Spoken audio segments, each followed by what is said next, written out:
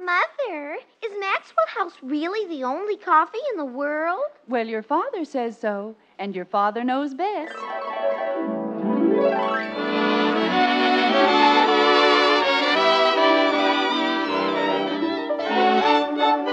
Yes, it's Father Knows Best, transcribed in Hollywood, starring Robert Young as father. A half hour visit with your neighbors, the Andersons. Brought to you by Maxwell House, the coffee that's bought and enjoyed by more people than any other brand of coffee at any price. Maxwell House, always good to the last drop.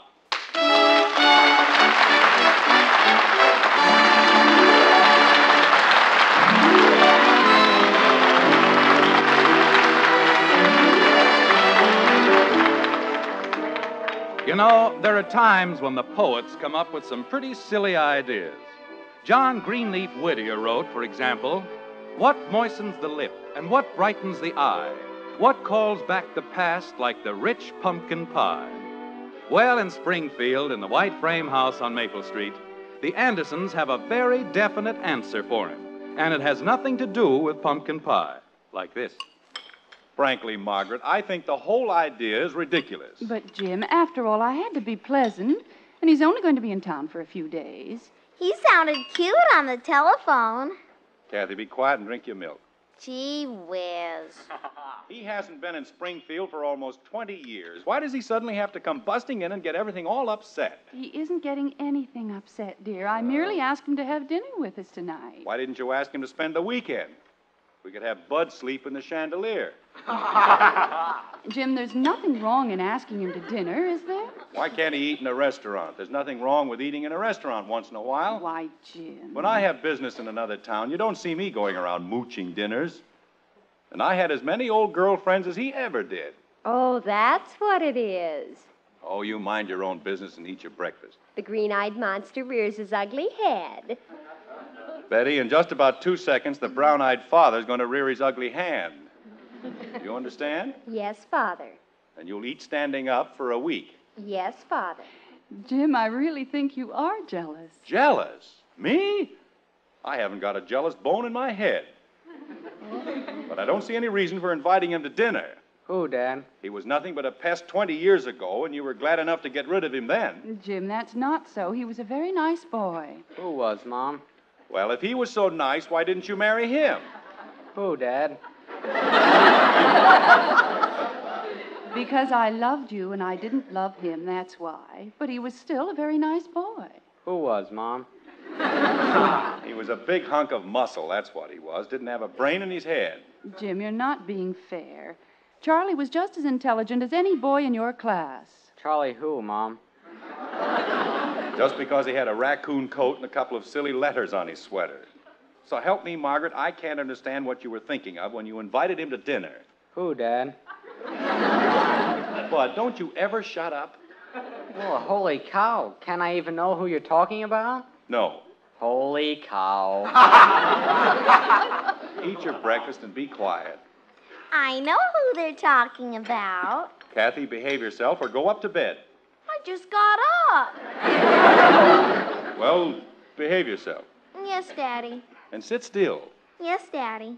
Man tries to have a peaceful breakfast with his family, and what happens? Nothing but noise and excitement and confusion. Jim, you're making a fuss over absolutely nothing. I'm not making a fuss, and it isn't absolutely nothing. How would you like it if I dragged all my old girlfriends in for a dinner? But, Jim, Charlie Warren is a happily married man. Charlie Warren? You mean the Charlie Warren who played football for Springfield? Yes, dear. Big thing. the man runs around with a silly hunk of leather under his arm. But Charlie Warren, Dad. Holy cow. Who's Charlie Warren? Who's Charlie Warren? You might just as well say, who's Red Grange? All right, who's Red Grange? Betty, it only happens that Charlie Warren is the greatest athlete in the history of Springfield, that's all. oh, that. The way you said it, I thought he was somebody important. Would you care for some more toast, Betty? No, thank you, Father. Boy, just wait till I tell the fellas. Charlie Warren in my house. But if you'll take up a collection, maybe we can build a shrine. Jim. Make this place a national monument. Charlie Warren ate here. Jim, I certainly hope you're going to be civil to the man. Oh, I'll be civil, all right. I'll be so civil he won't know I'm around. Well, I don't think that's necessary. Matter of fact, I won't even be around. I'll be in the den working on my income tax return with Hector. And I hope you and Charlie have a lovely time. Jim Anderson, you can't work on your income tax tonight. You just can't. Would you like to make a small wager? But, Jim, Charlie Warren is our guest. He's your guest, my pet. If you want to clutter up the house with your old boyfriends, go right ahead. I'm still going to work on my income tax. Jim, won't you please be sensible? I've already invited Charlie. I can't break the date now. Well, Hector's going out of town in the morning, and this is the last chance he has to help me with my tax return. And for your information, Charlie Warren runs a very poor second to my income tax. Now, if you'll be so good as to pour me a cup of coffee. Jim, if you really loved me, Oh, that's fine. That's just wonderful. Twist the whole thing around so it's my fault. I didn't say it was your fault, dear. All I said was. May I was. please have my coffee? Of course, dear. Thank you. Jim, don't you think just this once. Margaret, this is your house. I bought it, furnished it, worked my fool head off to get it. But it's your home, and if you want boyfriends running in and out of the hallways, Jim, you're being very unkind. Charlie Warren was your friend, too. my friend. Huh, Well, you certainly spend enough time with him. I had to. If I wanted to see you, I had to see him too, didn't I? I saw enough of him to last me a lifetime. Him and his big fat football. Now you're being childish. Charlie was just as much your friend as he was mine. Oh, he was, was he? I suppose he asked me to marry him. Well, no, but. Mom, you mean Charlie Warren asked you to marry him? Wait, yes, Bud, he did. And you turned him down?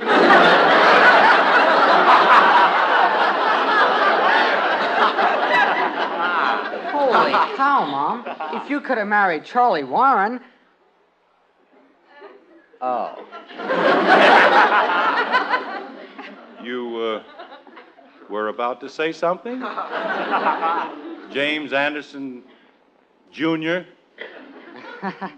Uh, well, I, uh. uh.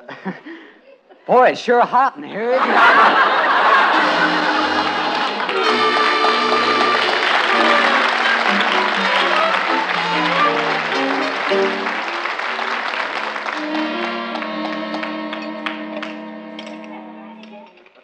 Football players. What's so wonderful about being a football player? Doesn't take any brains to be a football player. Kick a ball, jump on somebody's neck. Don't even know which way they're running half the time. Hmm. Hiya, Jim. What you doing? Counting your money? Oh, hello, Heck. Sit down. Oh, I've already had lunch. Well, sit down anyway. What's the matter? Something wrong? Uh, Uh, maybe we'd better not work on your tax return tonight. That isn't going to make you feel any better, you know. Heck, do you remember Charlie Warren? Charlie. Wa- oh, you mean Big Charlie, the flapper's favorite? Flapper's favorite. Oh, gosh, I haven't seen him in, well, must be 20 years. Why? What about him? He's in town, He is. Well, what do you know? What's he doing here? eating at my house. Yeah, that's right. He was a friend of yours, wasn't he? He was not. Well, when you and Margaret were. Oh, yeah, I forgot. Big football phony. Comes into town, gets everybody all excited. Giving you a bad time around the house. Oh, huh? you ought to heard him. Bud can't even figure out why his mother married me. Ah, that makes it nice. Yeah, just fine. Well, I guess we'd better forget about that income tax session tonight, huh? I guess so. Probably have to sit around all night hearing him yap about football. Makes me sick to think of it.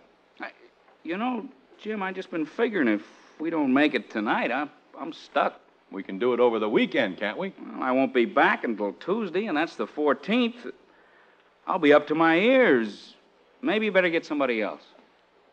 Unless. Uh, Unless what? well, uh, I was just thinking. You know, we could fix this guy, Charlie, but good. Oh? How do you mean? Well, I come over tonight and we give it a big build-up. You know, I'm your tax counselor, take care of all your major investments, stuff like that, big business. Oh, I don't know, Hank. Why not? We don't have to prove anything. I know. it won't but- be as though you're doing the bragging. You're very modest about it. You even try to stop me a couple of times. I do, huh? Oh, sure. You're you're you're very embarrassed. You, don't like the whole idea. But do I stop? I do not. I keep right on going. I lay it on thick. Even though I try to stop you. Sure. Charlie Warren thinks he's a big shot, huh?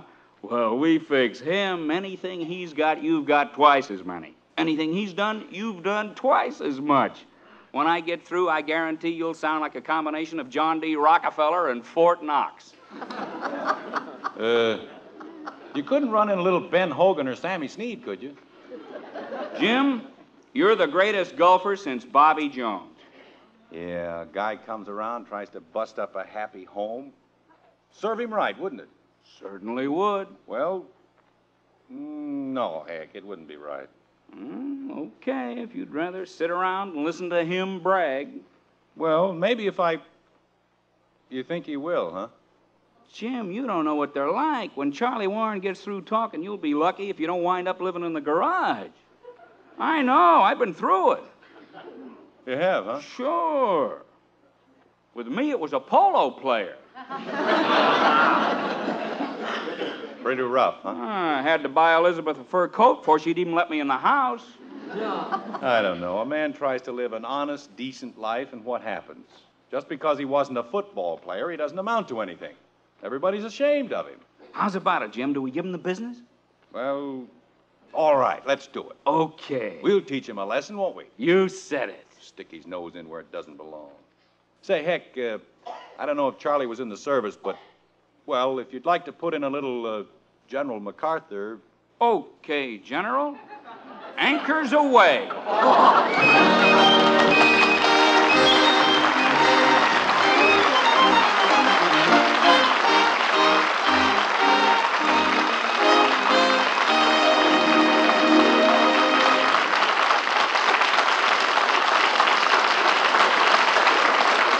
Well, Father's planning to get a lot of pleasure out of showing up Charlie Warren. Maybe he will, and maybe he won't. You just can't tell about some things. Other things, though, you can count on for a world of pleasure every time. Coffee is one of them. Truly good coffee, I mean, like Maxwell House, with all that wonderful good to the last drop flavor. Morning, noon, and night, that famous flavor means so much more real enjoyment, it really pays to remember Maxwell House is true economy. Yes, it pays to remember that in these days of higher prices. And a neighbor of ours could tell you why.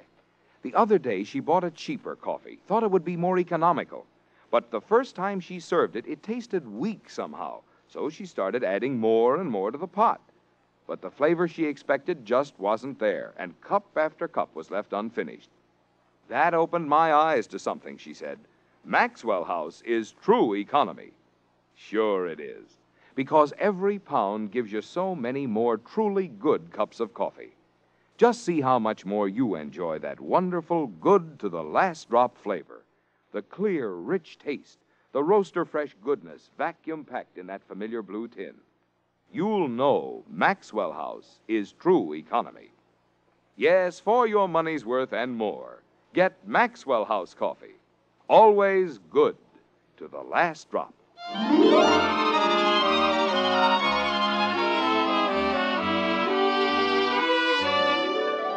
It's dinner time in the White Frame House on Maple Street. The roast beef was wonderful, the cake was delicious, the coffee is sensational. And, strangely enough, the conversation isn't quite as belligerent as we thought it might be. Like this. How about another cup of coffee, Charlie? Well, thank you, Jim. That'll be fine. There you are. Thank you, Margaret. Oh, holy cow, Mr. Warren. There certainly must be one football game you remember.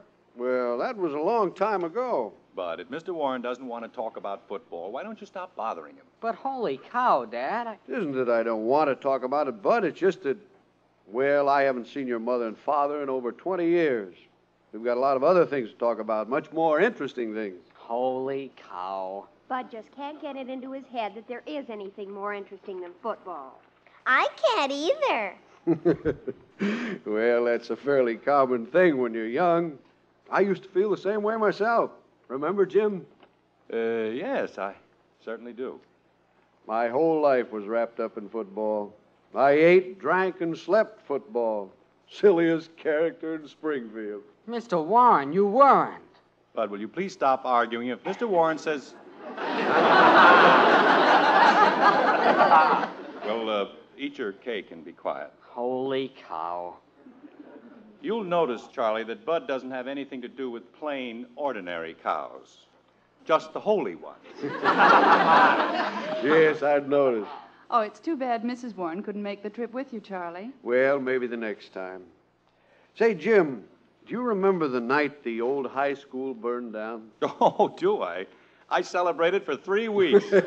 Jim, well, what I mean is, uh, Charlie, uh, remember how the principal, uh, what was his name? Baker, wasn't it? No, it was something like that, though. Baker, uh, Baylor. That was it. Old man Baylor. Yeah. Remember how he came flying down the street in his nightshirt? And all you could see were those long, skinny legs? Yeah. You mean that's better than football? Bud, please be quiet. and don't say holy cow. Well, what can I say? Nothing. Gee whiz. we'll talk about football the next time, Bud. How'll that be? Okay. I don't know what gets into that boy. I swear I don't. Well, he's just a boy, Jim. Of course, I don't have any children, so. Don't you even have a little girl? No, Kathy, not even a little girl. Not even one? Not even one. Gee, that's awful. Kathy. Well, she's right, Jim. It is awful. I'd give anything for a family. Well, Charlie, make me a reasonable offer and you can have mine. Father. It's all right, Betty. I know what he means. And I know what you mean to him. Yes, sir. Wonderful wife, wonderful home, three wonderful children. You're a lucky man, Jim. Well, you won't get any argument out of me on that. I didn't think I would. But we sure used to have some pips, didn't we, Margaret? Oh, long into the night, hour after hour. And if you want to know the real honest to goodness truth, Charlie, I married Jim just to stop the two of you from talking. Mommy, you did? Kathy, be quiet. That was a joke. It was?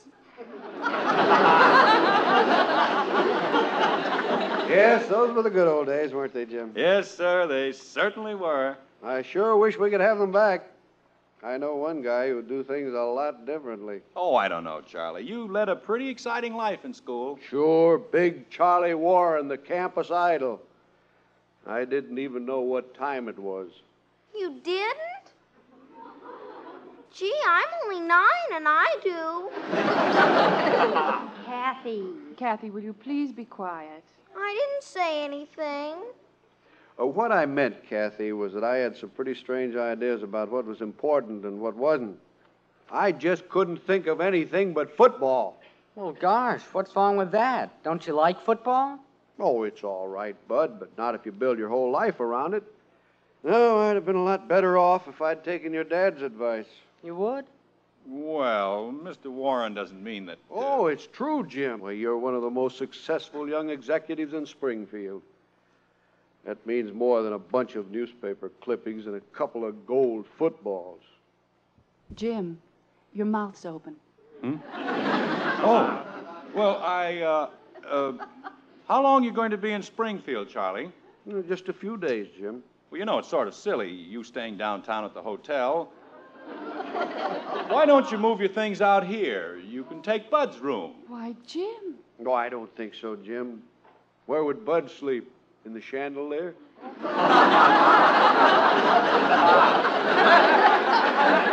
Oh, uh, we'd, uh, we'd find a place for him. I'll answer it, Dad. Good grief, I forgot all about Hector Smith. Excuse me, Mr. Warren. Sure, go right ahead, Bud. Charlie, you remember Hector Smith, don't you? Hector Smith. Mm. You mean the mathematical genius? That's the one. Well, sure I remember him. Good old Heck. Well, he's supposed to help me with my income tax tonight, but. Well, go right ahead, Jim. After all, I run a pretty poor second to an income tax. Well, well, well, Charlie Warren, you old son of a gun.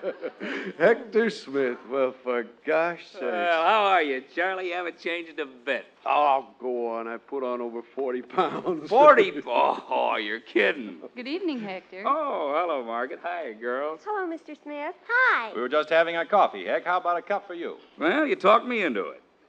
Hector, uh, about that thing we were talking about. Oh, sure, sure. Uh, uh, what do you think of Jim, Charlie? He's done all right, huh? Hector, I was just telling him, Heck, he's made a wonderful place for himself in the world. Uh, you think so, huh? Well, you don't know the half of it.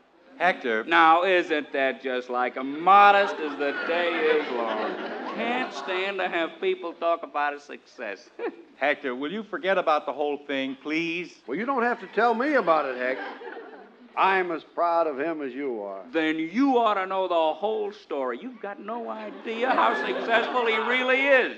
Hector, please. Look at him, he's blushing. and I don't blame him. A man who makes the kind of money he does. Hector, Charlie doesn't care anything about that. Well, sure he does, don't you, Charlie? Why, of course. You know, if Jim didn't have me to fix up his income tax return, why, he'd be paying for the last war all by himself. Father, would you really? Oh, Hector's exaggerating a little, Charlie. You know the way he is. Oh, now wait just a minute, Jim.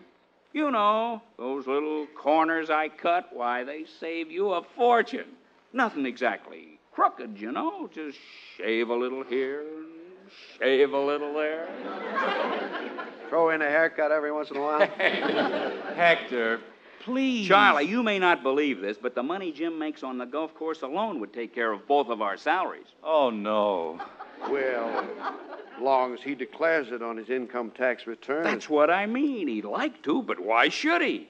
Who knows about the ten or twenty thousand dollars he picks up? Why, Jim. Margaret, don't listen to him. You know the way I play golf. Yeah, yeah, you ought to see him, Charlie. It's a joke. You know, if he wanted to, he could beat Sammy Hogan every day of the week. You mean Sammy Snead? Yeah, yeah, that's what I said. Yeah, but he, but he's too smart for that. He keeps just far enough ahead, sort of leads them on, and then when they're ripe for a big bet, wham! He hits them with the works.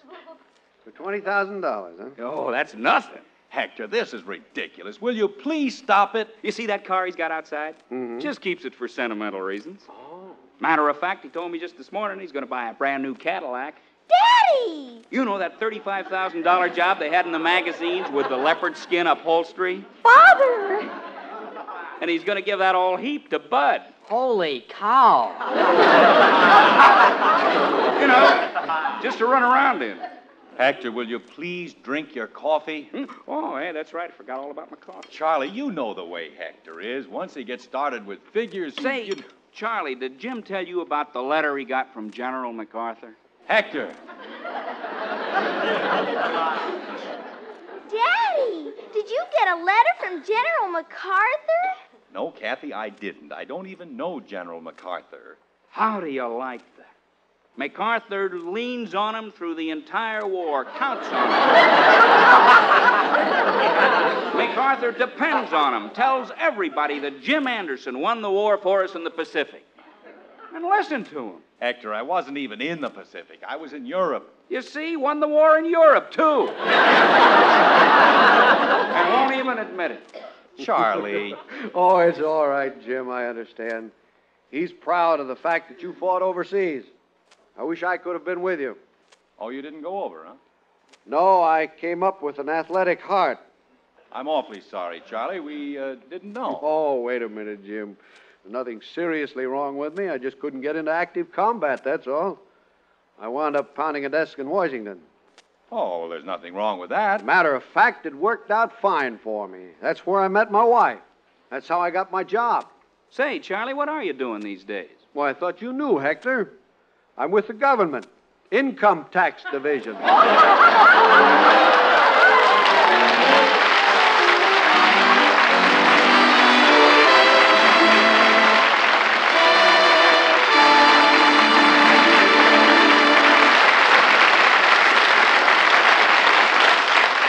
Now, that ought to convince Hector and Father of one thing. It always pays to do some investigating before you act. Sure, it pays to know all the facts. And here's another case in point. There's so much more pure pleasure in truly good coffee. It's important to remember this fact Maxwell House is true economy. Yes, Maxwell House is true economy. Now, you can find cheaper coffees in the store, but will you find economy in them? Not when you add more and more coffee to the pot, yet still can't get the flavor you want. Not when coffee is so lacking in flavor your family leaves their cups unfinished. No, you can't call that economy. But Maxwell House is true economy. So many more truly good cups of coffee in every pound. Such extra richness and flavor. So good to the last drop, you drink every drop. Yes, there's real reason why more people drink Maxwell House than any other brand at any price. Maxwell House is true economy. Tomorrow, get your money's worth and more with Maxwell House coffee. Always good to the last drop.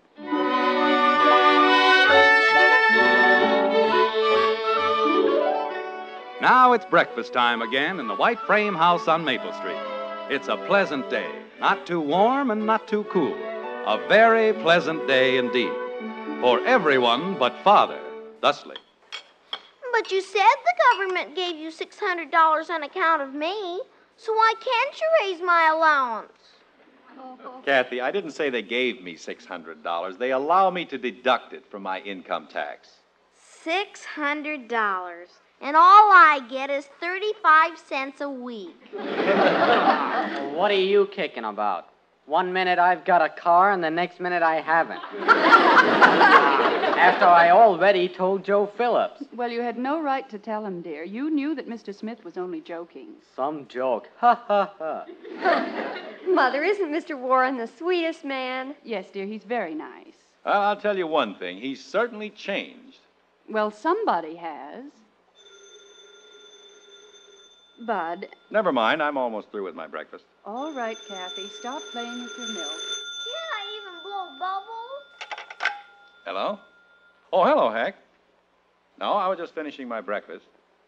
This afternoon? All right, let's say about 3 o'clock. Okay. Say, wait a minute, Heck. I thought you were going out of town. Oh, I see. Yeah, all right, Heck. 3 o'clock. See you later. Is there anything wrong, dear? No, it was just Hector. Oh, I thought he was going out of town. He was, but, well, he's decided he'd better spend the next few days revising his own income tax.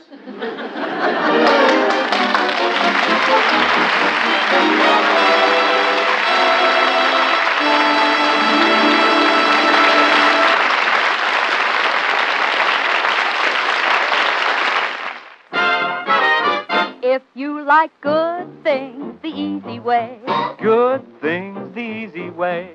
Instant Maxwell House, that's for you.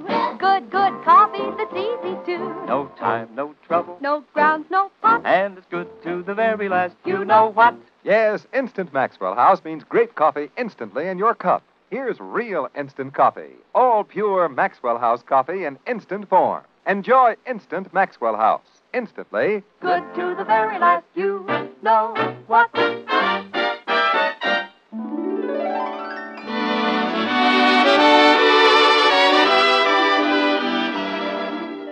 Join us again next week when we'll be back with Father Knows Best, starring Robert Young as Jim Anderson, with Roy Bargy and the Maxwell House Orchestra, and yours truly, Bill Forman. Don't forget, membership cards for the Robert Young Good Drivers Club are waiting for you at your local NBC station. Get a man to man or dad to daughter pledge and sign up today. Be a good driver. Get your membership card in the Robert Young Good Drivers Club today. Now, until next Thursday, good night and good luck from the makers of Maxwell House, America's favorite brand of coffee. Always good to the last drop. Father Knows Best was transcribed in Hollywood and written by Ed James. Now stay tuned in for Screen Guild Theater, which follows immediately over most of these stations.